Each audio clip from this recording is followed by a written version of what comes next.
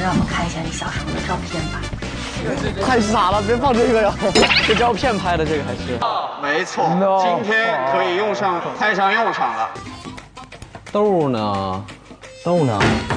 好像那个掉床底下了豆，那就不拿了，累了，豆了？不拿了。太乱了。默默默，默默过来。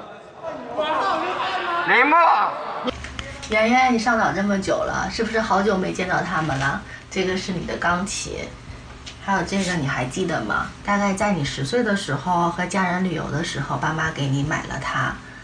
然后自从你有了这个望远镜以后，你就每次旅游都会带上它。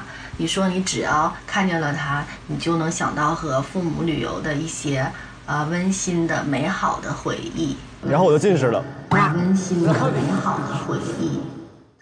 好，让我们看一下你小时候的照片吧。哦，说到你小的时候，你实在太好玩了。你是个有奇思妙想的小朋友，然后等慢慢长大了以后，你就变成了一个非常坚强的小大人了，从来也不跟家里抱怨一点你的。哎呀妈，这个太傻了，别放这个呀！